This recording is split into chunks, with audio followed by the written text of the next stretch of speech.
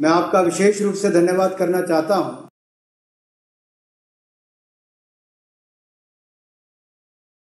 हमारे खिलाड़ियों की तैयारी में कोई कमी नहीं छोड़ी, जिसके बलबूते हमारे यहाँ प्रतिभावान प्लेयर्स टोक्यो ओलंपिक्स में देश का प्रतिनिधित्व करने जा रहे हैं। आपके आदेश पर खेल मंत्रालय ने किसी तरह की कोई कमी खिलाड़ियों की सुविधा में नहीं रखी है। टॉप स्कीम से लेकर डीजीसाई से लेकर खेल मंत्रालय ने हर तरह से प्रयास किया है कि हमारे खिलाड़ियों को सुविधाएँ मिले। माननीय प्रधानमंत्री जी, खेल एक ऐसा क्षेत्र है जो बिना किसी भेदभाव, जाति, धर्म, समुदाय के बंधन के 130 करोड़ भारतीयों को एकता के सूत्र से जोड़ता है। देश के 22 राज्यों से 18 खेलों के 126 एथलीट्स टोक्यो ओलंपिक्स में 130 करोड़ भारतीयों का प्रतिनिधित्व करेंगे। माननीय प्रधानमंत्री जी, आपके खेल के प्रति अभिरुचि, खेलों को बढ़ावा देने की आपकी कार्यशैली, आपके द्वारा खिलाड़ियों को दिया गया प्रोत्साहन हमेशा सराहनीय और प्रेरणादायक रहा है। कोरोना महामारी जैसी विषम परिस्थितियों के दौरान भी आपने खिलाड़ियों का मनोबल नहीं गिरने दिया और समय समय पर आपने खिलाड़ियों से वार्तालाप करके उनका मार्गदर्शन भी किया है। और उन्हें जोश से सरोबार भी किया है।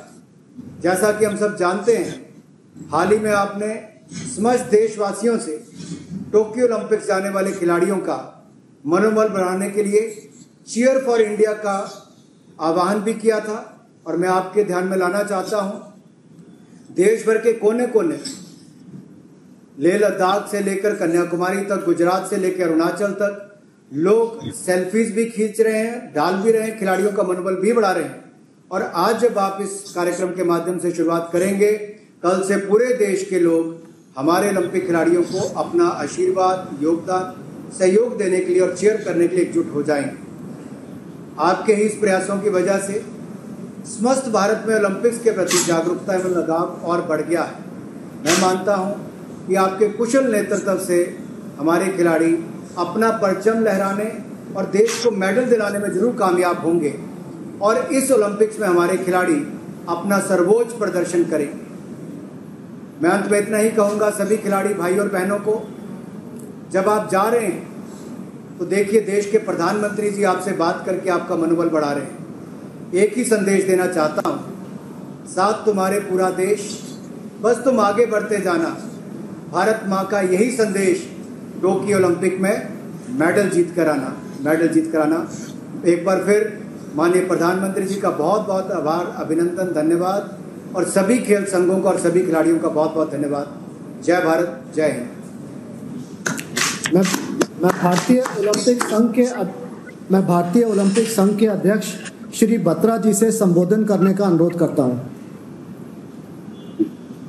Honourable prime minister Shri Narendra Modi ji honourable sports minister Shri Anurag Thakur ji honourable law and justice minister Shri Kiren Rijiju ji honourable minister for state for sports Shri Nisith Pramanik ji their athletes and officials it is an honour and privilege for every member of Indian contingent कि वह क्यों जाने से पहले अपने देश के प्रधानमंत्री जी से शुभकामनाएँ और आशीर्वाद लें। I would like to share with the honourable prime minister कि हमारा जो डेलीगेशन टोक्यो जा रहा है उसमें 67 male athletes 52 female athletes 58 team officials 43 alternate athletes and other officials और 8 contingent staff. टोटल हमारा कंटिजेंट 228 का है। भारत के एथलीट 85 मेडल पॉसिबिलिटीज पर compete करेंगे टोक्यो ओलंपिक्स में।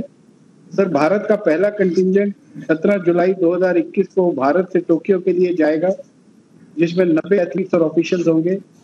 भारत के एथलीट्स और ऑफिशियल्स जो विदेश में ट्रेन कर रहे हैं, वह डायरेक्टली वहीं से टोक्यो जाएँगे।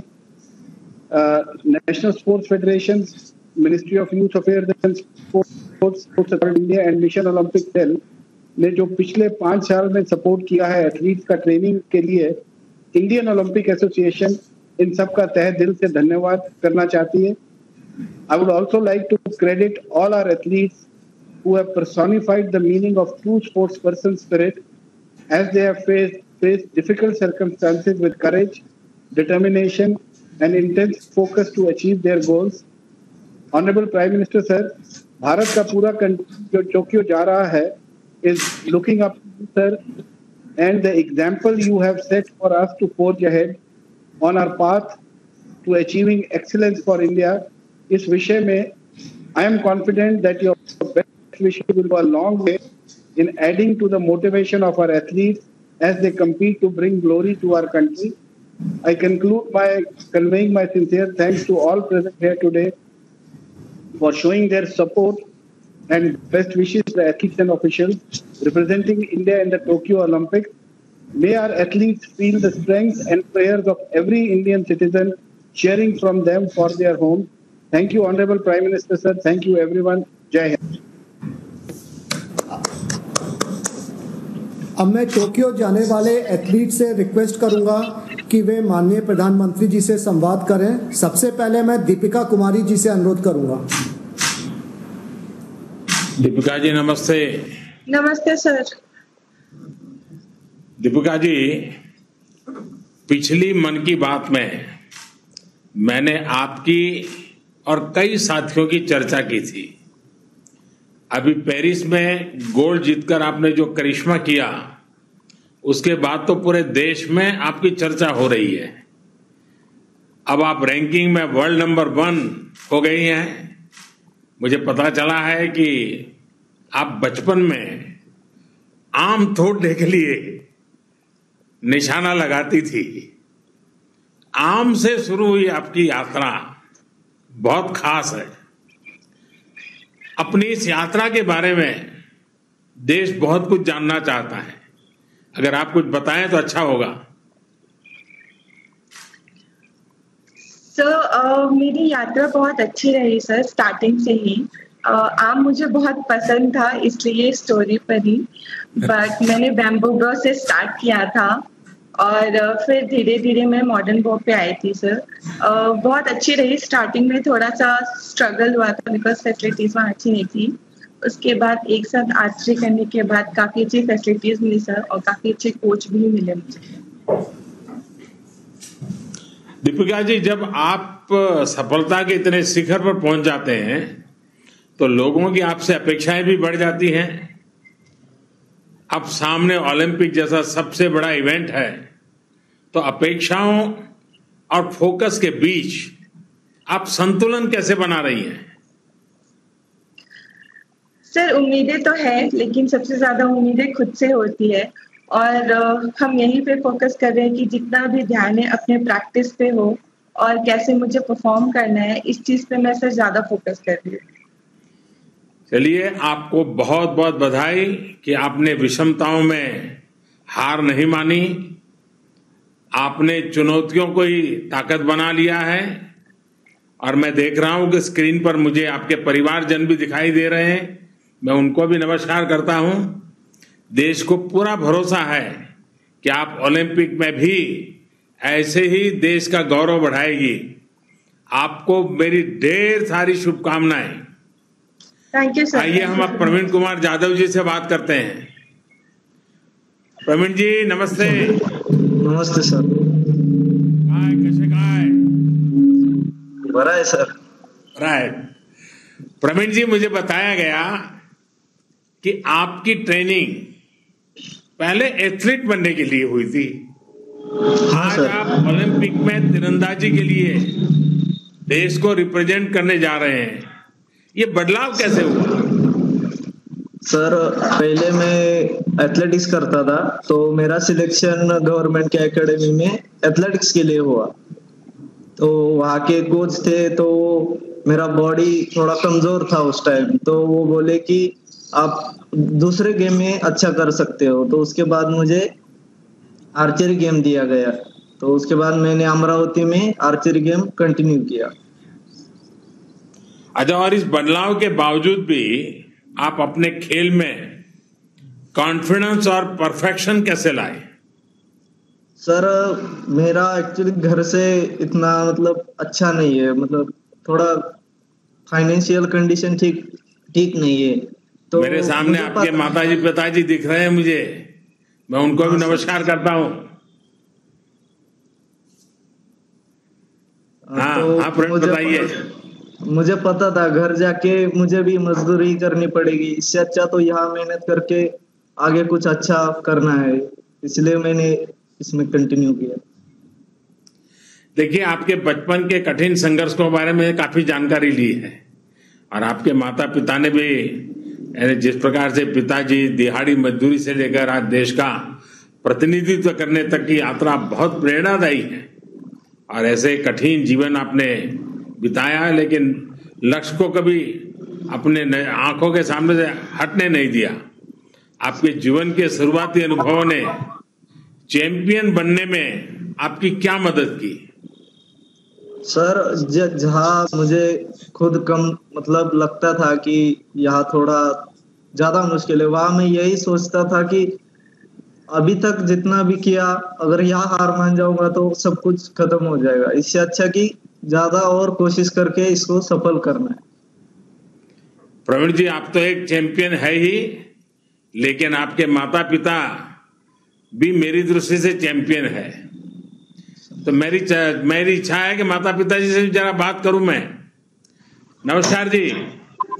नमस्कार। पुत्री करते हुए अपने बेटे को आगे बढ़ाया और आज आपका बेटा ओलंपिक में देश के लिए खेलने जा रहा है। आपने दिखा दिया कि मेहनत और ईमानदारी की ताकत क्या होती है। अभी आप क्या कहना चाहेंगे?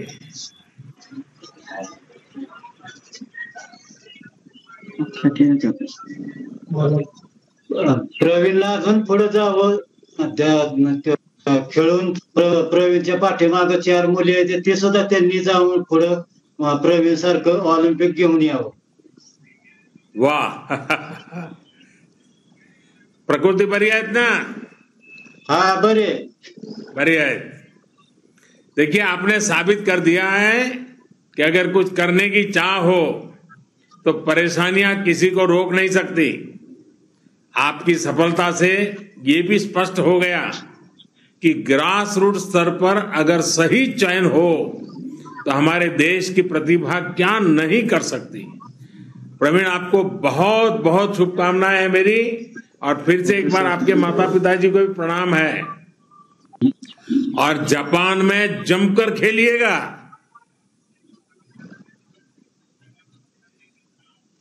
अच्छा अब हम नीरज चोपड़ा जी से बात करेंगे। नमस्ते सर। नीरज जी आप तो भारतीय सेना में हैं। और सेना के ऐसे कोने से अनुभव है जो अनुभव वो कौन सी ट्रेनिंग है जिसने आपको खेल में, इस मुकाम तक पहुँचने में मदद की? सर, देखो, मेरा शुरू से ही एक था कि मुझे भारतीय सेना बहुत पसंद थी और मैं पाँच छह साल खेला। उसके बाद मुझे भारतीय सेना ने ज्वाइन करने के लिए बोला। तो मुझे काफ़ी खुशी हुई। फिर मैंने भारतीय सेना को ज्वाइन किया। और उसके बाद से मैं अपना गेम में फोकस कर रहा हूँ। और भारतीय सेना मुझे जितनी फैसिलिटी और जो मुझे चाहिए और जो भारत सरकार सब कुछ मुझे प्रोवाइड कर रहे हैं और मैं अपना पूरा मन लगा के मेहनत कर रहा हूँ। नीरज जी, मैं आपके साथ साथ आपके पूरे परिवार को भी देख रहा हूँ। आपके परिवार को भी मैं प्रणाम करता हूँ। नीरज जी, मुझे ये भी बताया गया है कि आपको इंजरी हो गई थी, लेकिन फिर भी आप इस साल अपने राष्ट्रीय रिकॉर्ड बना दिया है। आपने अपना मनोबल अपनी प्रैक्टिस को ये सब कैसे संभाले रखा? आ, मैं मानता हूँ सर कि जो इंजरी है वो एक स्पोर्ट्स का पार्ट है। तो जो मैंने 2019 में काफ़ी मेहनत की थी उस साल वर्ल्ड चैंपियनशिप आपको तो आपको स्पोर्ट्स की इंजरी में भी स्पोर्ट्स पर स्पिरिट दिखता है। सर क्योंकि हमारा यही सफ़र है। कुछ साल का हमारा करियर होता है और हमको अपने आप को मोटिवेट करना होता है। तो मेरा एक साल इसकी वजह से खराब हो गया था क्योंकि मैंने तैयारी काफ़ी की थी वर्ल्ड चैंपियनशिप के लिए और एशियन चैंपियनशिप के लिए। लेकिन इंजरी की वजह से वो, उसमें दिक्कत होगी। फिर मैंने अपना पूरा फोकस ओलंपिक पे किया और अब दोबारा से कम बैक किया। अच्छे से मैंने फ़र्स्ट कॉम्पिटिशन खेला, उसमें ओलंपिक क्वालिफाई कर दिया था। उसके बाद फिर कोरोना की वजह से ओलंपिक पोस्टपोन हो गया। तो फिर अपनी तैयारी कंटिन्यू रखी सर और फिर उसके बाद दो जो दोबारा से कंपटीशन खेल ले और फिर अपनी बेस्ट करके नेशनल रिकॉर्ड किया। और अभी भी सर पूरी मेहनत कर रहे हैं, कोशिश कर रहे हैं कि जितना अच्छा हो सके, उतना बढ़िया करके आए ओलंपिक में। नीरज जी, बहुत अच्छा लगा आपसे बात करके। मैं एक महत्वपूर्ण बात आपसे कहना चाहता हूँ। आपको अपेक्षाओं के बोझ तले दबने की ज़रूरत नहीं है। आप. अपना शत प्रतिशत दीजिए बस यही मिजाज। बिना किसी दबाव के। है। पूरा प्रयास कीजिए। मेरी आपको बहुत शुभकामनाएँ हैं और आपके माता पिता को भी प्रणाम है। आइए दुती चंद से बात करते हैं। दुती जी नमस्ते। प्राइम मिनिस्टर नमस्ते। दुती जी आपके तो नाम का ही अर्थ है चमक। दुती का मतलब ही होता है आभार और आप खेल के ज़रिए अपनी चमक बिखेर भी रही है। अब आप ओलंपिक में छा जाने के लिए तैयार हैं। इतनी बड़ी प्रतियोगिता तो आप कैसे देखती हैं?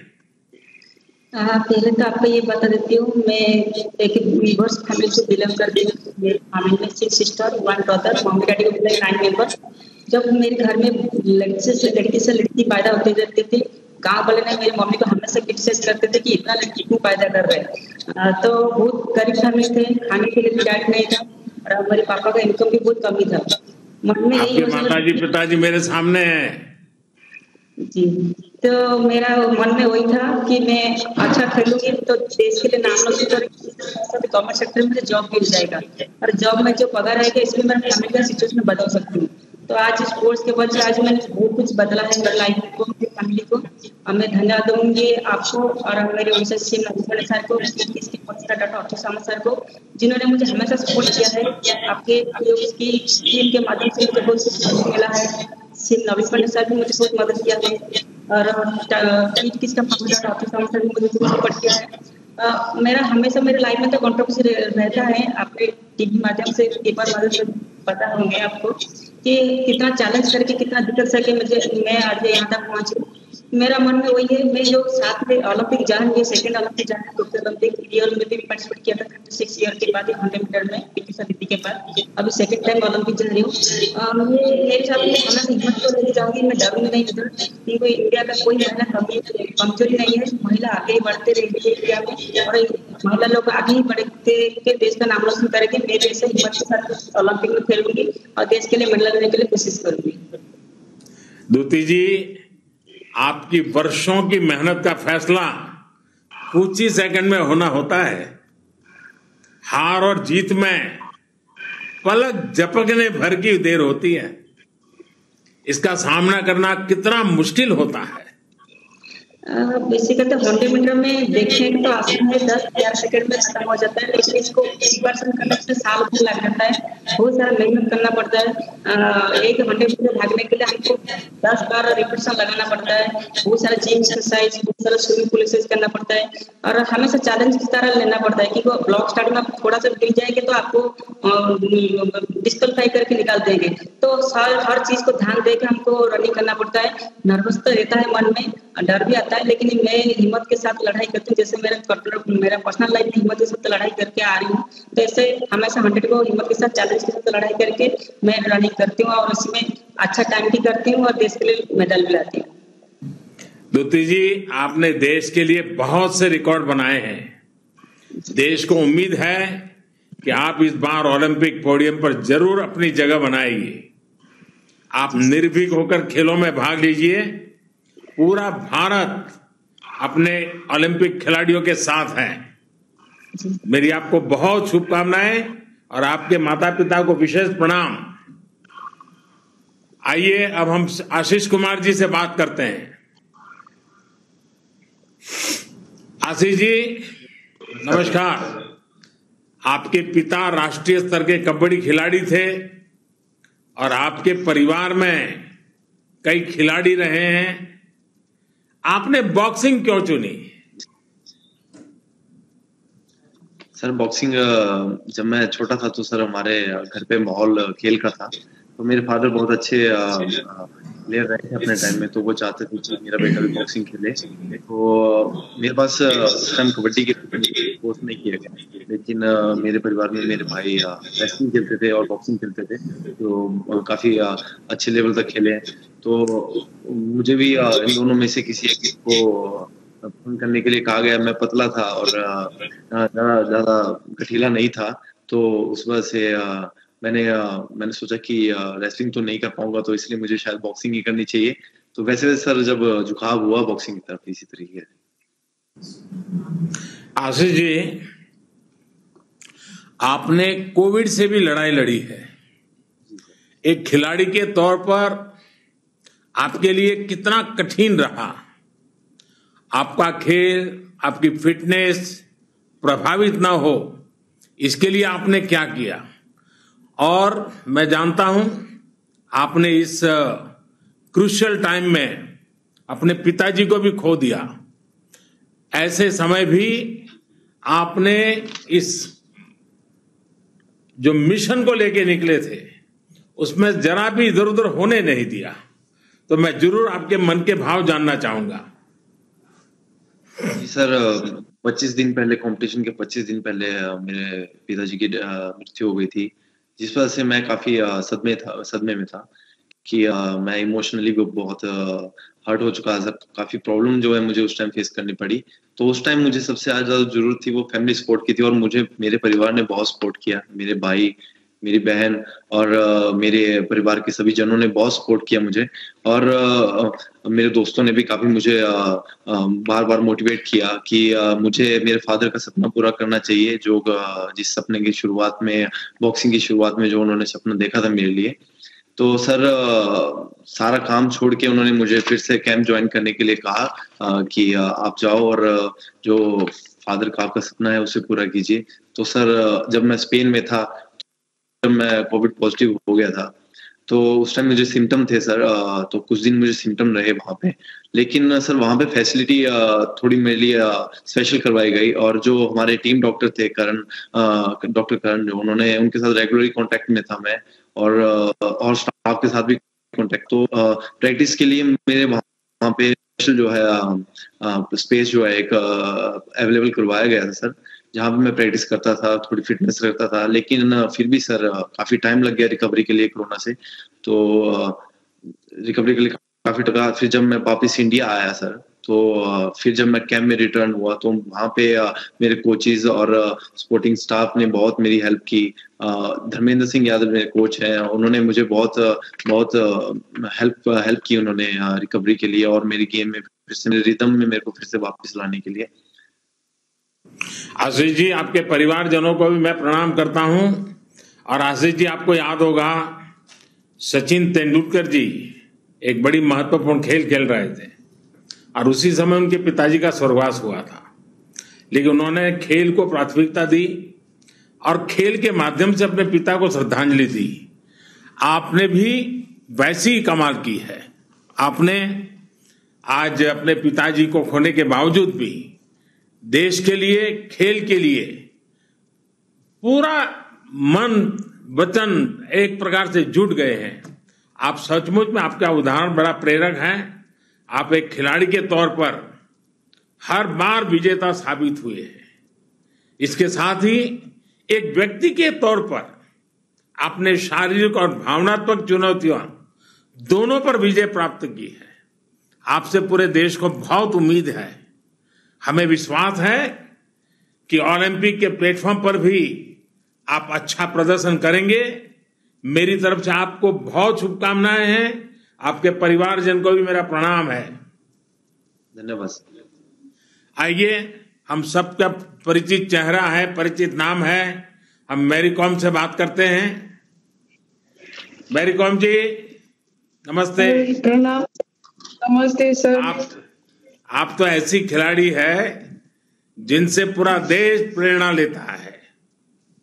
इस ओलंपिक दल में भी बहुत से खिलाड़ी ऐसे होंगे जिनके लिए आप स्वयं भी एक आदर्श रही है।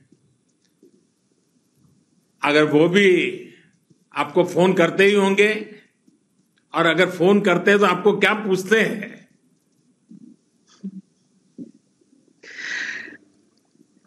सर घर में सब मेरे लिए दुआ करें कि अ, वो लोग बच- बच्चे लोग ज़्यादा मेरे को मिस करता है सर।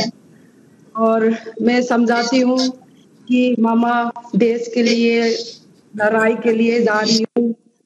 और आप लोग घर में पापा का उसका जो भी बोल बोल रहा है उसको फॉलो करना है।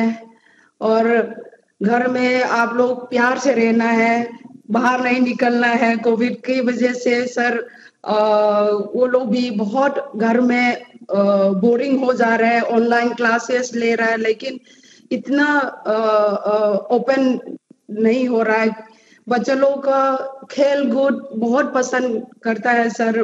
दोस्त लोग खेलने में भी बहुत अच्छा लग अच्छा करता है अच्छा हो रहा है। लेकिन इस बार कोविड वजह से अ, सारे दोस्त लोग इस दोस्त लोग से भी दूर हो रहे हैं। और अ, मैं बोला ये मामले में हम लोग फाइट करना है। अच्छा रहना है और सुरक्षित रहना है सेफ्टी रहना है।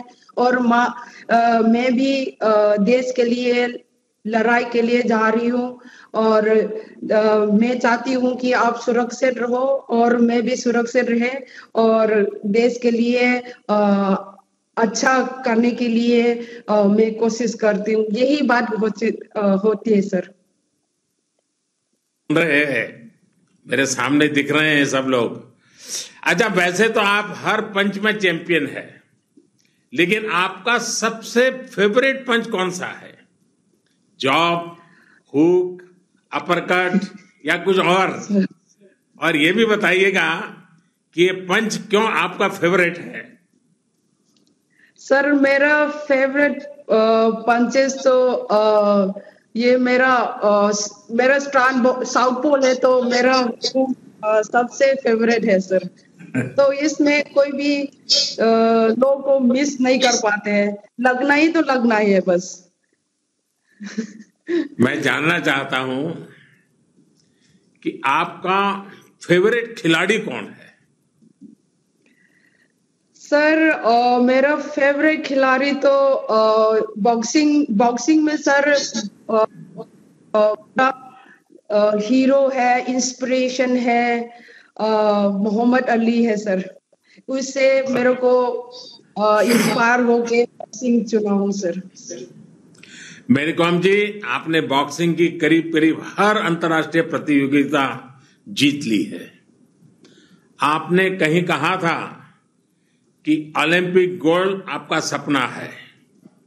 ये आपका ही नहीं पूरे देश का सपना है। देश को उम्मीद है कि आप अपना और देश का सपना ज़रूर पूरा करेगी। मेरी आपको बहुत शुभकामनाएँ हैं और आपके परिवारजनों को प्रणाम है। आइए पीवी सिंधु जी से बात करते हैं। नमस्कार सर सिंधु जी नमस्ते। सिंधु जी मुझे बताया गया कि आप टोक्यो ओलंपिक से पहले ओलंपिक साइज़ कोर्ट में प्रैक्टिस करना चाहती थी। अब गोची बाउली में आपकी प्रैक्टिस कैसी चल रही है? गच्चीबावली में प्रैक्टिस बहुत अच्छा चल रहा है सर। मैं ये चूज़ किया क्योंकि अभी ओलंपिक स्टेडियम बहुत बड़ा है और वो एसी और वो शटल कंट्रोल करना बहुत होता है। तो इसीलिए मैं अ, ये सोचा कि ठीक है अगर वो अच्छा स्टेडियम है तो क्यों वो अपॉर्चुनिटी है तो क्यों नहीं खेलूं करके फेब्रुवरी से उधर प्रैक्टिस कर रही हूँ सर। ऑब्वियसली मैं गवर्नमेंट से परमिशन लिया था सर ऑब्वियसली ये पैंडेमिक के वजह से वो लोग इमीडिएटली परमिशन लेके प्रोटोकॉल्स फॉलो करने के लिए बोला था तो मैं I am very thankful to them क्योंकि as soon as I asked permission वो लोगों ने परमिशन दे दिया सर तो इसीलिए मैं सोचा, ठीक है अगर अभी से स्टार्ट किया तो वो बड़ा स्टेडियम में खेलना तो टोक्यो जाने के बाद उतना मुश्किल नहीं होता and I get used to it so quickly इसीलिए सर आपके परिवारजन भी मेरे सामने हैं, मैं उनको प्रणाम करता हूँ। मुझे याद आता है कि गोपी चंद जी ने एक इंटरव्यू में कहा था कि उन्होंने रियो ओलंपिक के पहले आपका फ़ोन ले लिया था। आपको आइसक्रीम भी खाना अलाउ नहीं किया था। क्या अभी भी आपके आइसक्रीम खाने पर पाबंदी लगी हुई है या कुछ छूट मिली है? सर ऑब्वियसली थोड़ा कंट्रोल करती हूँ सर क्योंकि एक एथलीट के लिए डाइट बहुत इम्पोर्टेंट है और अभी ओलंपिक्स है तो तैयारी कर रही हूँ तो ऑब्वियसली थोड़ा डाइट कंट्रोल तो करूँगी तो आइसक्रीम उतना नहीं खाती हूँ, सर, बस कभी कभी खाती हूँ। देखिए सिंधु जी माता पिता दोनों खुद स्पोर्ट्स में रहे हैं और इसलिए मेरा मन करता है आज मैं उनसे भी एक बात ज़रूर करूँगा। आपको नमस्कार। आप ये बताइए, जब किसी बच्चे की रुचि खेल में जाने की हो तो कई पेरेंट्स के लिए बहुत मुश्किल होता है। बहुत सारे लोगों को ढेरों आशंकाएँ रहती है। आप ऐसे सभी पेरेंट्स के लिए क्या संदेश देना चाहेंगे? बस सर पेरेंट्स ये जानना चाहिए कि अगर अपने बच्चे हेल्थ वाइज अच्छे होंगे तो सब कुछ बड़ा होगा। क्योंकि आप थोड़ा खेलेंगे तो आपका हेल्थ अच्छा होगा ऑटोमेटिकली आपका कंसंट्रेशन बढ़ेगा। हर इश्यूज़ में आप लोग आगे बढ़ेंगे और ज़रूर आप ऊपर आ सकते हैं। आप एक सफल खिलाड़ी के माता पिता हैं। अपने बच्चों को स्पोर्ट्स पर्सन बनाने के लिए कैसी पेरेंटिंग करनी होती है? सर पेरेंटिंग तो फ़र्स्ट पेरेंट्स ही तो डेडिकेट करना चाहिए सर क्योंकि उनको एंकरेज करना है। We have to motivate them and आप तो जानते हैं गवर्नमेंट तो हर तरह से हर खिलाड़ी को सब फैसिलिटी दे रहे हैं। सो so, उसको हमारे बच्चों को समझाते हुए देश का नाम ऊपर करने के लिए बेटा मेहनत करना है और अच्छा नाम कमाना है करके हम उनको प्रोत्साहित करके हर जो भी बच्चों को हम ये पहले सिखाना है कि रेस्पेक्ट देना जो भी है रेस्पेक्ट दो और उनका आशीर्वाद लो सिंधु जी आपके माता पिता ने आपको विश्व चैंपियन बनाने के लिए बहुत त्याग किए हैं। उन्होंने अपना काम कर दिया है। अब आपकी बारी है। आप खूब मेहनत कीजिए और मुझे विश्वास है कि इस बार भी आप ज़रूर सफल होगी और जब सफलता के बाद मेरा मिलना होता ही आप लोगों से तो मैं भी आपके साथ आइसक्रीम खाऊँगा।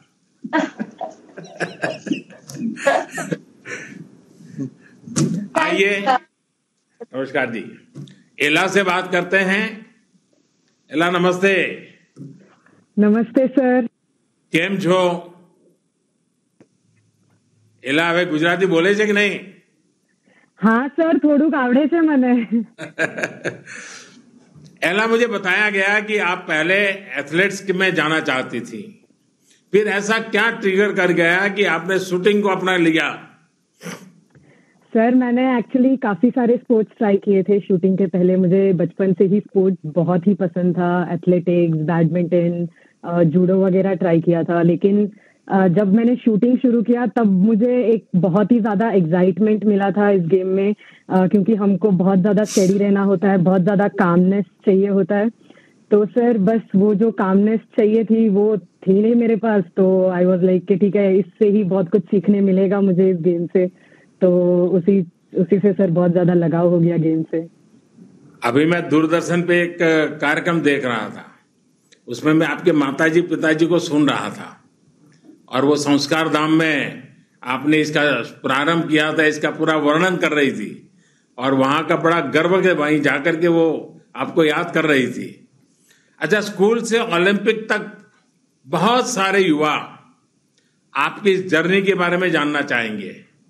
देखिए मैं मणिनगर का एमएलए था और आप मणिनगर में रहते हैं। और जब मैंने खोखरा में मेरे असेंबली सेगमेंट में सबसे पहले स्पोर्ट एकेडमी जुड़ी की तो तुम लोग आप लोग खेलने आते थे। तब तो जो बच्ची थी। और आज मुझे देखने के बाद बड़ा गर्व होता है। तो बताइए कुछ अपनी बात। सर आ, मेरी शूटिंग की प्रोफेशनल जर्नी संस्कार धाम से ही शुरू हुई थी। मैं टेंथ स्टैंडर्ड में थी। तो मॉम डैड का ही कॉल था कि ठीक है आप स्पोर्ट्स ट्राई करके देख लीजिए। अगर आपको इतना इंटरेस्ट है तो कर लीजिए करके उन्होंने बोला था। तो स्पोर्ट्स अथॉरिटी ऑफ़ गुजरात और gun for glory shooting academy से जो एमओयू साइन हुआ था सर तो संस्कार धाम ने उन्होंने district level sports school start किया था। तो पढ़ाई भी उधर ही होती थी। पूरा दिन हमारा ट्रेनिंग भी उधर ही होता था सर तो सर वो जर्नी काफ़ी अच्छी रही है क्योंकि वहीं से मैंने स्टार्ट किया और अब जब मैं ओलंपिक्स मेरी फ़र्स्ट ओलंपिक्स के लिए जा रही हूँ सर तो बहुत प्राउड फील होता है कि इतने लोगों की मदद, इतने लोगों ने मेरे इतना सपोर्ट किया मोटिवेट किया और हमेशा गाइड किया है सर तो काफ़ी अच्छा लगता है सर एला, अभी आप ग्रेजुएशन कर रही हैं. शूटिंग कैरियर और एकेडमिक्स को आप कैसे बैलेंस करती हैं? सर मैं तो इसके लिए मेरी यूनिवर्सिटी गुजरात यूनिवर्सिटी जो है और हमारे कॉलेज भवन कॉलेज को थैंक्स करना चाहूँगी क्योंकि सर एक भी टाइम ऐसा नहीं था कि जब उन्होंने मुझसे बोल दिया हो कि नहीं आपको कंपलसरी आके ये चीज़ करनी पड़ेगी। उन्होंने मुझे इतनी छूट दी थी। आ, मेरे लिए एग्ज़ाम्स भी वो लोग स्पेशल अरेंज करवा देते थे मेरे लिए आ, मेरे सेमिनार्स अलग से रखवा देते थे सर। तो काफ़ी सपोर्ट किया है सर। आ, मेरी पूरी जर्नी में उन लोग ने काफ़ी सपोर्ट किया है और स्कूल ने भी हम मुझे काफ़ी सपोर्ट किया है सर। एला आपकी जनरेशन एम्बिशस भी है और मैच्योर भी है। आपने इतनी कम उम्र में विश्व स्तर पर सफलता प्राप्त की है। ऐसे में देश को उम्मीद है कि खेल के सबसे बड़े मंच पर भी आप इसी यात्रा को जारी रखेंगी। मेरी आपको बहुत शुभकामनाएँ हैं और आपके माताजी, पिताजी को भी मेरा प्रणाम है। वणक्कम। आइए हम सौरभ चौधरी से बात करते हैं। नमस्कार सर। सौरभ जी नमस्ते। आपने इतनी कम उम्र में ही ओलंपिक के लिए क्वालिफाई कर लिया है। कैसे और कब आपका ये मिशन शुरू हुआ? आ, सर 2015 में मैंने शूटिंग अपना स्टार्ट किया था। हमारे पास के गाँव में ही एक शूटिंग एकेडमी है वहाँ पे मैंने स्टार्ट किया। मेरी फैमिली ने भी काफ़ी सपोर्ट किया मुझे। उन्होंने खुद ही कहा कि जब तुझे इतना पसंद है तो ट्राई करना चाहिए। तो मैं वहाँ पे गया, वहाँ पे मैंने ट्राई किया।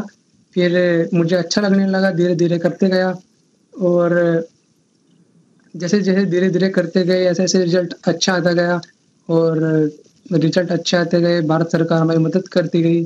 तो आज हम यहाँ पर ऐसे देखिए आपके परिवारजन भी बड़े गर्व के साथ आज हम मुझे दर्शन हो रहे हैं उनके भी कि भाई देखिए सौरभ क्या कमाल करेगा सब उनकी आँखों में बड़ा बड़े सपने दिखाई दे रहे हैं।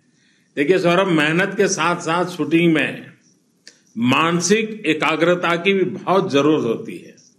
इसके लिए आप योग वगैरह करते हैं या कुछ और तरीका आपका है जो आ, मुझे भी जानने में खुशी हो और देश के नौजवानों को भी जानने में खुशी होगी?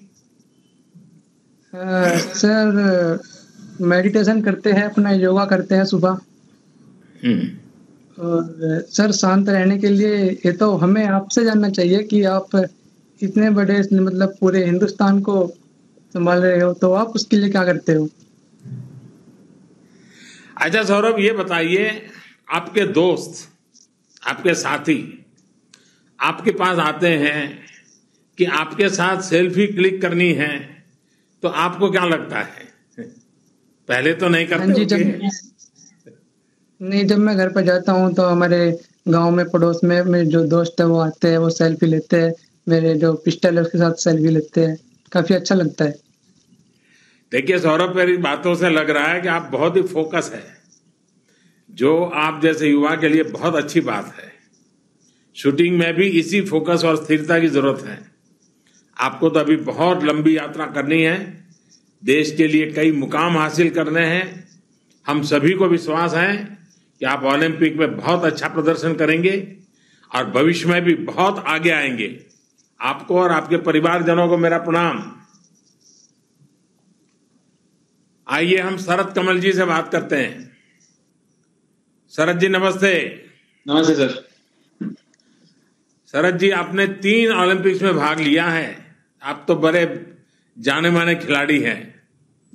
आप उन युवा खिलाड़ियों को क्या सुझाव देंगे जो पहली बार ओलंपिक में देश का प्रतिनिधित्व तो कर रहे हैं? इस बार जो ओलंपिक्स होने वाली है, ये काफ़ी एक नया सिचुएशन में हो रही है, बल्कि ये कोविड नाइन्टीन के टाइम में हो रही है। तो पिछले तीन जो ओलंपिक्स था, इस, ऐसे अनुभव कुछ भी नहीं था जहाँ पे हमारा कंसंट्रेशन पूरी स्पोर्ट से हटके जो हमारी सेफ्टी के लिए है, जो प्रोटोकॉल्स मेंटेन करना है, उस पर ध्यान चले। मगर इस बार स्पोर्ट्स के अलावा हमें बाकी कुछ में भी ध्यान ध्यान देना पड़ रहा है। तो मैं यही बोलूँगा कि जो जो नए जा रहे हैं पहले ओलंपिक्स में हाँ जाने से पहले हमें इट इज़ मतलब स्पोर्ट्स स्पोर्ट्स ओलंपिक्स बहुत इंपॉर्टेंट है but at the same time अगर हम प्रोटोकॉल्स और ये सही नहीं मेंटेन करते हैं तो हम गेम से ही बाहर हो सकते हैं। So we have to maintain वो प्रोटोकॉल्स और वंस हम जैसे हम ओलंपिक्स चले जाते हैं तो हमारा पूरा ध्यान हमारा स्पोर्ट में होना चाहिए। तो जब तक हम जाएँगे, ठीक है, कोशिश करेंगे कि स्पोर्ट में भी रखते हैं और अपना प्रोटोकॉल्स में भी रखते हैं, मगर जैसे वहाँ पे चले गए कंप्लीट फोकस ऑन अपना स्पोर्ट के लिए। शरद जी, आपने जब खेलना शुरू किया था, तब और अब, आपको लगता है कि टेबल टेनिस को लेकर कुछ बदलाव आए हैं? स्पोर्ट्स से जुड़े सरकारी डिपार्टमेंट्स के अप्रोच में आपने कुछ बदलाव महसूस किया है? बहुत कुछ, बहुत सारे फ़र्क हुए हैं, सर। जैसे 2006 में जब मैं पहली बार कॉमनवेल्थ के मेडल जीता था गोल्ड मेडल जीता था, और अब की बात 2018 में जब हम सब मिलके गोल्ड मेडल जीते, जैसे मनिका बत्रा ने भी जीती थी मतलब दो first women female Indian table tennis player to win gold medals तो उन्होंने दो जीते, हमने भी मेन में एक जीते, और आठ मेडल जब आए वो 2006 की और 2018 में बहुत फ़र्क थी। मेन थिंग यही था कि स्पोर्ट्स एक प्रोफेशनल फ़ील्ड बना था।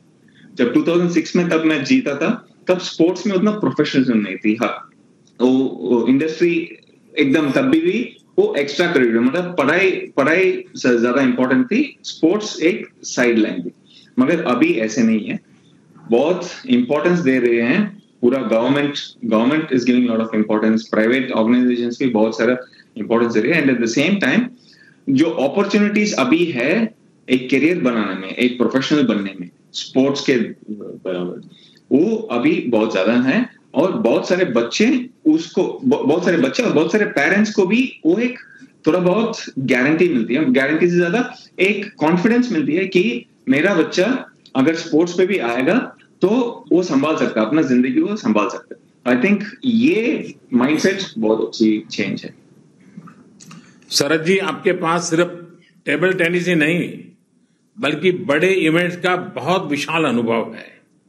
मुझे लगता है कि अनुभव आपके काम तो आएगा ही, साथ ही टोक्यो ओलंपिक में भाग ले रही देश की पूरी टीम के काम आने वाला है। आप एक बड़े की भूमिका में इस बार एक प्रकार से पूरी टीम को एक विशेष भूमिका भी आपके सामने आई है।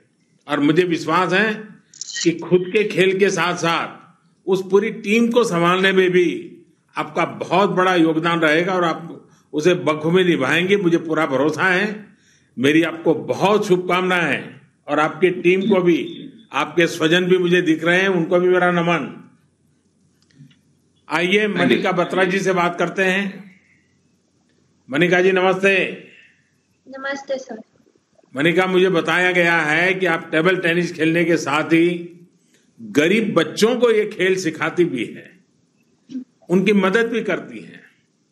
आप खुद ही युवा हैं। आपके विचार कैसे आया? uh, सर जब मैं पहली बार यहाँ पुणे में खेलती हूँ तो वहाँ आई थी तो मैंने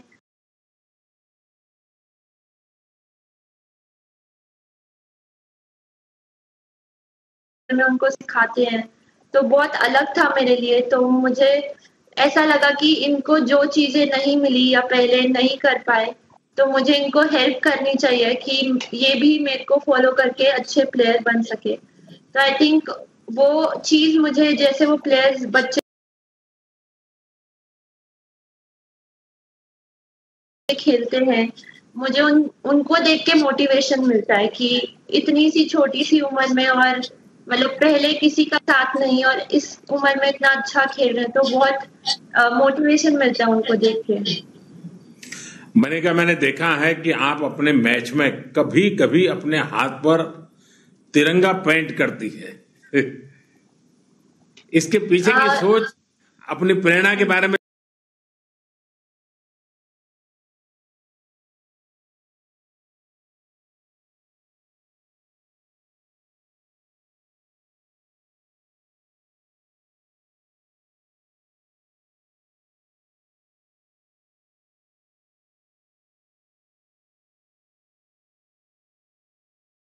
सिर्फ़ उन्हीं सभी टेबल टेनिस युवा खिलाड़ियों को प्रेरित करेगी। मेरी आपको बहुत शुभकामना है। आपके सभी साथी पूरे परिवार ने खेलों के लिए इतना कुछ देश को दिया है। इस पहचान की वजह से थोड़ा एक्स्ट्रा प्रेशर थोड़ी ज़्यादा ज़िम्मेदारी तो नहीं आ जाती है।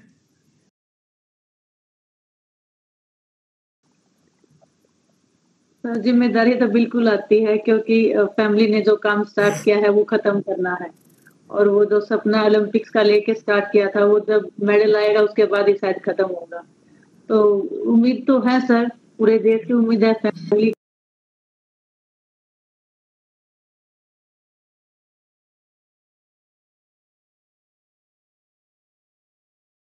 नहीं है, अच्छे से खेलेंगे और देश को प्राउड करने का बिल्कुल मौका देंगे। देखिए, पिछली बार आपको रियो ओलंपिक में चोट की वजह से हटना पड़ा था। पिछले साल भी आप बीमार थी। आपने इन सारी बाधाओं को पार कर शानदार प्रदर्शन किया। इतने स्ट्रेस को सक्सेस में बदलना ये अपने आप में बहुत बड़ी बात है। ये कैसे किया आपने? सर डिफ़िकल्ट होता है काफ़ी बट वही है कि एज ए एथलीट हम एथलीट टॉप लेवल पे अगर हमें परफॉर्म करना है तो हमें मेंटली स्ट्रोंग रहना पड़ता है। और एज एथलीट मैं सोचती हूँ कि हमें ये ज़रूरी है उस लेवल पे ले जाने के लिए वो पुश करने के लिए। सो so, फैमिली का एक बहुत बड़ा रोल रहता है आपके पीछे तो फैमिली का सपोर्ट रहता है हमेशा। और जो भी हमारी फेडरेशन है या टॉप से साई है, सभी लोग पूरा ईमानदारी के साथ में लगे रहते हैं। तो एक रहता है कि नहीं, उन लोगों को निराश नहीं करना है, जो लोग इतना सब हमारे पीछे लगा रहे हैं उम्मीदों के साथ में। तो ऐसे कहीं पे रुकना नहीं है, क्योंकि वो रुकना नहीं है, इसीलिए वो हमें पुश कर रहे हैं। वो काफ़ी चीज़ें हैं सर, उस टाइम पे याद आती हैं। तो हम उसके लिए लगे रहते हैं, चाहे इंजरी हो, चाहे कोई भी चीज़ आए। मुझे तो पूरा यकीन है कि आप टोक्यो में बहुत शानदार प्रदर्शन करने वाली है। क्या हम उम्मीद करें कि अब आप आगे आप पर भी एक फ़िल्म आने वाली है? सर बस आप अच्छा, लोगों की दुआ और चाहेंगे कि हम सभी जितने भी एथलीट जा रहे हैं अपने कंट्री को मौका दे हर दिन मेडल आते रहें। और आप लोग जो पूरा देश जो उम्मीदें लगाए बैठा है उनको हम निराश ना करें। आपके माता पिताजी भी जुड़े हैं आपके पिताजी तो आपके गुरु भी हैं एक प्रकार से। जरा मैं पिताजी से बात ज़रूर करना चाहूँगा। आपसे मेरा सवाल जरा थोड़ा हट करके है। जब कोई फिट और तंदुरुस्त होता है तो हमारे देश में कहते हैं कौन सी चक्की का आटा खाते हो? तो फोगाट फैमिली अपनी बेटियों को कौन सी चक्की का आटा खिलाती है? वैसे ये भी बताइए कि विनेश को क्या मंत्र देकर टोक्यो भेज रहे हैं आप? देखिए जो चक्की का आटे की है हम जो अपने गाँव के घर की चक्की का आटे खाते हैं और अपने देसी के उसका और गाय भैंस रखते हैं गाय भैंस का दूध, दही, मक्खन, यही खिलाया, हरी सब्ज़ी। और विनेश का जो पिछली बार जो 2016 में जो दौड़ लगी थी, जो सारे देश को मिल थी, उस टाइम जो सारे देश को दुख आया था हम तो पिताजी माँ बाप हूँ तो हमको तो दुख होना था। तो आज जो मेरी बेटी है, पूरा सुमुद है, मैंने तो एक ही वादा किया था, अगर ओलंपिक गेम में मेडल लेकर आओगे तो भी मैं एयरपोर्ट पर लेने आऊँगा, इतने भाई मैं आऊँगा नहीं। और आज भी मैं लगा हूँ इस चीज़ पर। आज मुझे विश्वास है। पिछली बार तो मेरी बेटी रह गई थी, लेकिन अब की बार ओलंपिक में, मैं पूरी आस उम्मीद है जनो। इसके पिछले टूर्नामेंट देख लो, इन्हें लगती जो अपने जो आगे बढ़ाते रही मेडल लेती है तो अब की बार मेरी बेटी में पूरा विश्वास, भरोसा है। अब की बार भी गोल्ड मेडल देख रहा है मेरे सपना पूरा करेगी। देखिए विनेश जी, आपके पेरेंट्स की बातों से मुझे भरोसा हो गया है कि विनेश आप ज़रूर जीतेगी। आप लड़ती हैं गिरती हैं जूझती हैं पर हार नहीं मानती हैं। आपने अपने परिवार से जो सीखा है ज़रूर वो इस ओलंपिक में देश के काम आएगा। मेरी आपको बहुत बहुत शुभकामनाएँ हैं। आपके माता पिता जी को मेरे प्रणाम है। आइए हम साजन प्रकाश जी से मिलते हैं। साजन जी नमस्ते नमस्ते। मुझे बताया गया है कि आपकी तो माता जी ने भी एथलीट्स में देश का गौरव बढ़ाया है। अपनी माता जी से आपने क्या क्या सीखा sir my mother is my everything and she taught she was a sports person in earlier days and she help me to come over all the struggles and hurdles for this for this achievement sir अच्छा मुझे ये बताया गया कि आपको गहरी injury भी हो गई थी। आप इससे कैसे उभरे सजन Uh, first of all, uh, in eight, for 18 months after the closure of uh, pool, uh, uh, we had a lot of struggles, and with the injury, we were uh, uh, out of the pool for so long, and it was very frustrating and depressing at the first time. But uh, with my support of uh, all the people, my coaches, uh, the Gau- his wife Gauri Auntie and Go Sports, Kerala Police, SF Swimming Federation of India, and FINA, everyone supported me through thick and thin. I think that has helped me to come out mentally strong and uh, overcome this pain and from the injury, sir. साजन आप Olympic में जाने से पहले ही भारतीय खेलों के सुनहरे इतिहास में जगह बना रहे हैं मुझे उम्मीद है कि आप अपने प्रदर्शन से इस ओलंपिक उपलब्धि को और स्वर्णिम बनाएँगे। मेरी आपको बहुत शुभकामनाएँ हैं और आपके सारे साथी बड़े उत्साह के साथ इस बार से यहाँ जुड़े हुए हैं। उनको भी मेरी बहुत बहुत धन्यवाद मैं करता हूँ। आइए हम मनप्रीत सिंह जी से मिलते हैं। मनप्रीत जी नमस्ते। नमस्कार सर। मुझे बताया गया कि कोरोना की पहली वेव के दौरान आप सभी साथी बेंगलुरु में एक साथ रहे, सबने मिलकर कोरोना का मुकाबला किया और इससे टीम स्पिरिट पर क्या असर पड़ा? सर एक्चुअली मैं कहना चाहूँगा कि गवर्नमेंट का उस टाइम बहुत ज़्यादा सपोर्ट रहा था क्योंकि हम लोग यहाँ पे बेंगलोर में कैंप में थे। तो उस वक्त ये था कि हम लोगों ने ऐसे अपनी टीम को कैसे हम लोग स्ट्रॉन्ग कर सकते हैं, उसके ऊपर काम किया। हम लोगों ने एक दूसरे के प्लेयर्स के बैकग्राउंड के बारे में जाना कि हाँ कि किससे कैसे प्लेयर ने अपना बैकग्राउंड स्टार्ट किया, कैसे उनकी फैमिली ने सेक्रीफाइस किया कि अपने बेटों, अपने बच्चों को यहाँ तक पहुँचाने के लिए। उस चीज़ के बारे में जाना कि हाँ कि इससे क्या है कि हमारी टीम बॉन्डिंग है, और ज़्यादा स्ट्रांग होगी। और ये था कि सर, हम लोगों ने यही माना था कि हमारे पास अभी एक और साल बाकी है तो हम लोग अपने आप को और कैसे बेहतर कर सकते हैं? तो हम लोगों ने दूसरी टीम के बारे में स्टडी की, कैसे उनका क्या प्लस पॉइंट्स है, क्या वीक पॉइंट्स हैं, कि कहाँ पे हम लोग उनको हट कर सकते हैं। तो ये चीज़ें काफ़ी हमारे लिए हेल्पफुल रही सर ओलंपिक में, हॉकी में हमारे देश का बहुत शानदार इतिहास रहा है। ऐसे में स्वाभाविक है, थोड़ी ज़्यादा ज़िम्मेदारी का बहुत स्वाभाविक एक वातावरण बन जाता है और हर कोई चाहता है कि रिकॉर्ड बना करके रखना है। और इसकी वजह से खेल के दौरान आप लोगों को कोई एक्स्ट्रा तनाव का माहौल तो नहीं होता है ना? नहीं सर, बिल्कुल नहीं, क्योंकि अगर देखा जाए तो हॉकी ने अभी तक जो आठ गोल्ड मेडल जीते हैं, सबसे ज़्यादा मेडल जीते तो हम लोग इसको प्राउड फील करते हैं कि हम लोग उसी स्पोर्ट को खेल रहे हैं। और जब भी हम लोग ओलंपिक्स में जाते हैं तो यही कोशिश करते हैं कि हाँ कि अपना पूरा बेस्ट है और इंडिया की मेडल जीते चलिए, आपके परिवारजन भी मुझे दिख रहे हैं, मैं उनको प्रणाम करता हूँ। उनके आशीर्वाद आपके साथ बने रहते हैं और देशवासियों की शुभकामनाएँ आपके साथ है। मनप्रीत, आपसे बात करते हुए मुझे मेजर ध्यानचंद केडी सिंह बाबू, मोहम्मद शाहिद, जैसे महान हॉकी खिलाड़ियों की याद आ रही है। आप हॉकी के महान इतिहास को और उज्जवल करेंगे, ऐसा मेरा और पूरे देश का विश्वास है। मेरी आपको बहुत बहुत शुभकामनाएँ हैं और आपके परिवारजनों को मेरा प्रणाम है। आइए, अब हम सानिया जी से बात करते हैं। सानिया जी, नमस्ते। नमस्ते सर। सानिया जी, आपने कई ग्रैंड स्लैम्स जीते हैं। बड़े बड़े खिलाड़ियों के साथ आपने खेला है।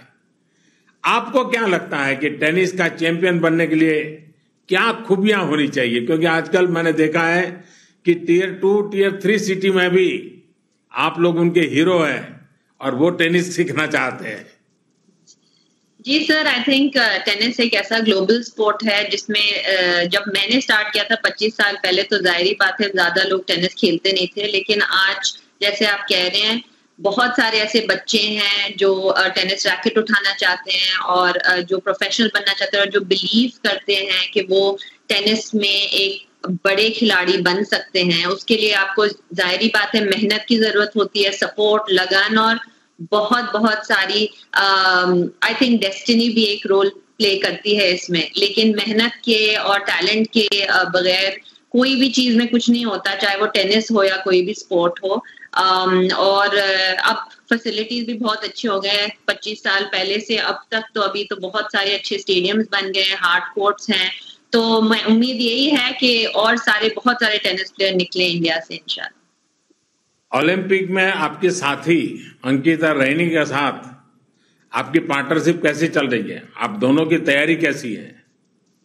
अंकिता एक यंग खिलाड़ी है, बहुत बहुत अच्छा खेल रही है हाल में और I am very excited to play with her. हम लास्ट टाइम, लास्ट ईयर खेले थे फेबर में, जो फेड कप के मैचेस थे और उसमें हमने काफ़ी अच्छा प्रदर्शन किया था। लेकिन we are looking forward to going to Olympics जैसे मेरा चौथा ओलंपिक्स है उसका पहला ओलंपिक्स है तो uh, थोड़ा सा अभी मेरे उम्र के साथ यंग पैरों की ज़रूरत है तो आई थिंक वो वो प्रोवाइड कर सकती है। सानिया आपने पहले भी स्पोर्ट्स के लिए सरकारी विभागों में कि उसके कामकाज को भली भांति देखा है। पिछले पाँच छह साल में आपको क्या बदलाव महसूस हुआ है? जैसे मैंने कहा आई थिंक पाँच छह साल ने अब यू नो जब से हमारे पास कॉमनवेल्थ गेम्स हुआ है सर तब से आई थिंक कि बिलीफ जो आ गया है कि हमारे कंट्री में से क्रिकेटर्स के अलावा भी बहुत सारे ऐसे स्पोर्ट्स पर्सन हैं जो देश के लिए नाम कमाते हैं और देश के लिए बहुत अच्छे देश को बहुत अच्छे मुकाम पे पहुंचाते हैं। आई थिंक वो बिलीव धीरे धीरे लास्ट पाँच छह साल में और भी बढ़ गया है। और आप तो गवर्नमेंट और से हमें हमेशा ही सपोर्ट मिलता है।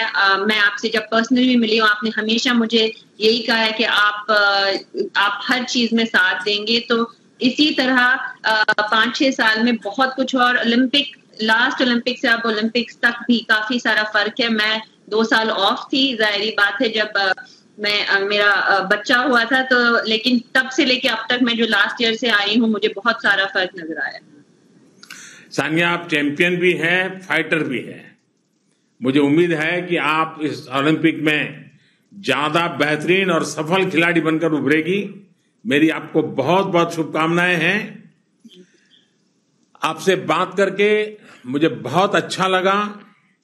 वैसे सभी से बात नहीं हो पाई, लेकिन आपका जोश, आपका उत्साह पूरे देश के सभी लोग आज महसूस कर रहा है।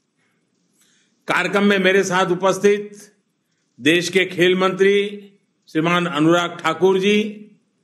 अब से कुछ दिन पहले तक खेल मंत्री के रूप में आप सबके साथ बहुत काम किया है। ऐसे हमारे वर्तमान कानून मंत्री श्रीमान किरण रिजिजू जी, खेल राज्य मंत्री, हमारे यंगेस्ट मिनिस्टर हैं हमारी टीम के, श्रीमान निशित प्रामाणिक जी, स्पोर्ट्स से जुड़ी संस्थाओं के सभी प्रमुख उनके सभी सदस्य और टोक्यो ओलंपिक में हिस्सा लेने जा रहे सभी मेरे साथियों, सभी खिलाड़ियों के परिजन, आज हमारी वर्चुअल बातचीत हुई है, लेकिन मुझे और अच्छा लगता यदि मैं आप सभी खिलाड़ियों को यहाँ दिल्ली के अपने घर में होस्ट करता, आप लोगों से रूबरू मिलता।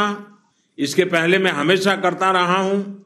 और मुझे, मेरे लिए वो अवसर बड़ा उमंग का अवसर रहता है, लेकिन इस बार कोरोना के कारण वो संभव नहीं हो पा रहा है। और इस बार आधे से अधिक खिलाड़ी हमारे पहले से विदेशों में उनकी ट्रेनिंग चल रही है। लेकिन वापस आने के बाद मैं आपको वादा करता हूँ, आप सबके साथ मैं ज़रूर सुविधा के अनुसार समय निकाल करके मिलूँगा। लेकिन कोरोना ने बहुत कुछ बदल दिया है। ओलंपिक का साल भी बदल गया। आपकी तैयारियों का तरीका बदल गया। बहुत कुछ बदलाव हुआ है। अब तो ओलंपिक शुरू होने में सिर्फ़ दस दिन बचे हैं। टोक्यो में भी एक अलग तरह का माहौल आपको मिलने वाला है। साथियों, आज आपसे बातचीत के दौरान देश को भी पता चला कि इस कठिन समय में भी देश के लिए आपने कितनी मेहनत की है कितना पसीना बहाया है। पिछली मन की बात में मैंने आप में से कुछ साथियों के इस परिश्रम की चर्चा भी की थी। मैंने देशवासियों से आग्रह भी किया था कि वो देश के खिलाड़ियों के लिए, आप सभी के लिए चीयर करें, आपका मनोबल बढ़ाएँ। मुझे ये देखकर आज खुशी होती है कि देश आपको चीयर कर रहा है। हाल के दिनों में हैशटैग चीयर फॉर इंडिया के साथ कितनी ही तस्वीरें मैंने देखी हैं। सोशल मीडिया से लेकर देश के अलग अलग कोनों तक पूरा देश आपके लिए उठ खड़ा हुआ है। 135 करोड़ भारतीयों की शुभकामनाएँ। खेल के मैदान में उतरने से पहले आप सभी के लिए देश का आशीर्वाद है। मैं भी अपनी ओर से आपको ढेर सारी शुभकामनाएँ देता हूँ। आप सभी को देशवासियों से लगातार शुभकामनाएँ मिलती रहे। इसके लिए नमो ऐप पर भी एक खास प्रावधान किया गया है। नमो ऐप पर जाकर भी लोग आपके लिए चीयर कर रहे हैं, आपके लिए संदेश भेज रहे हैं। साथियों आपके साथ देश भर की भावनाएँ जुड़ी हुई है। और जब मैं आप सभी को एक साथ देख रहा हूँ तो कुछ चीज़ें कॉमन नज़र आ रही है। और जब मैं आपको देखता हूँ तो कॉमन बातें हैं। बोल्ड कॉन्फिडेंट एंड पॉजिटिव आप में एक कॉमन फैक्टर दिख रहा है। डिसिप्लिन डेडिकेशन और डिटर्मिनेशन आप में कमिटमेंट भी है कम्पिटिटिवनेस भी है, यही क्वालिटीज न्यू इंडिया की भी है। इसलिए आप सब न्यू इंडिया के रिफ्लेक्शन है। देश के भविष्य के प्रतीक है। आप में से कोई दक्षिण से हैं, कोई उत्तर से हैं, कोई पूरब से हैं तो कोई पूर्वोत्तर से हैं।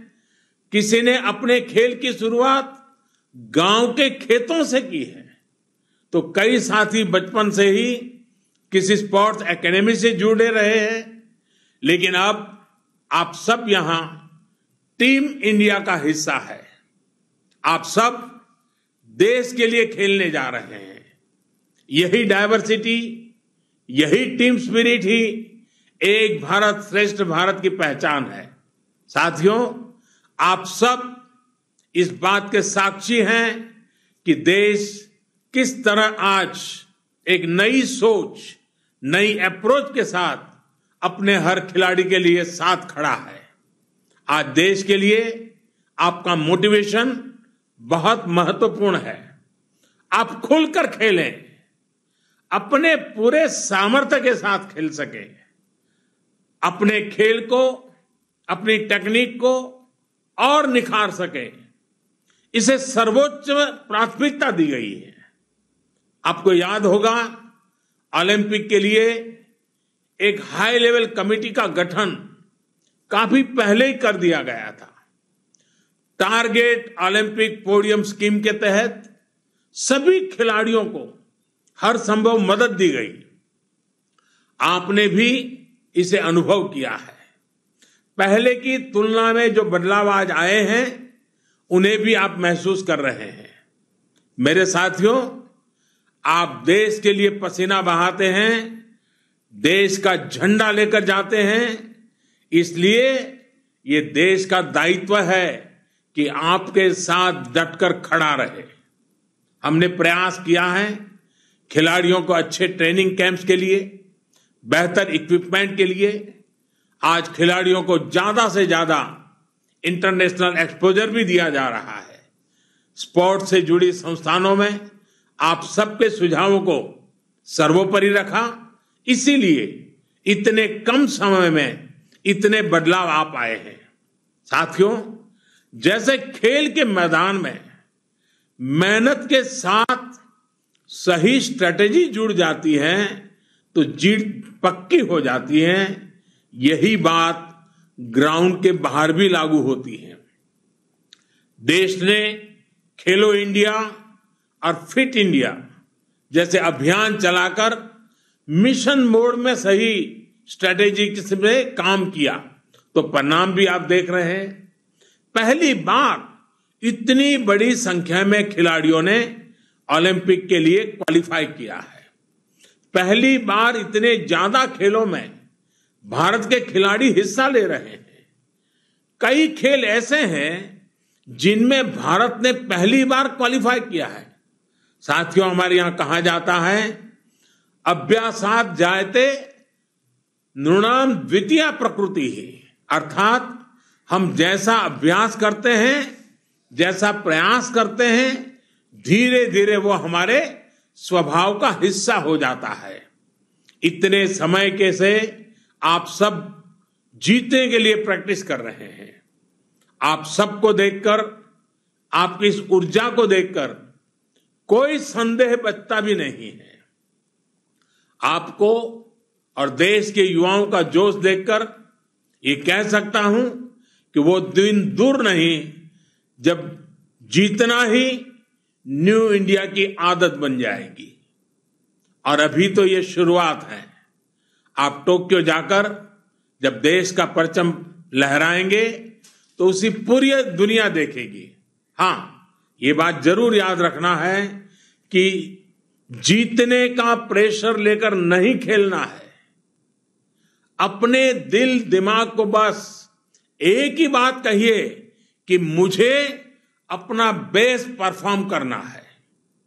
मैं देशवासियों से भी एक बार फिर कहूँगा चीयर फॉर इंडिया मुझे पूरा विश्वास है, आप सब देश के लिए खेलते हुए, देश का गौरव बढ़ाएँगे, नए मुकाम हासिल करेंगे। इसी विश्वास के साथ आप सभी का बहुत बहुत धन्यवाद। मेरी बहुत बहुत शुभकामनाएँ और आपके परिवारजनों को मेरा विशेष प्रणाम। बहुत बहुत धन्यवाद। मैं संपूर्ण खेल जगत की तरफ़ से आदरणीय प्रधानमंत्री जी का धन्यवाद करता हूँ। सर, आपके मार्गदर्शन से हमारे खिलाड़ी बहुत उत्साहित हुए हैं। धन्यवाद।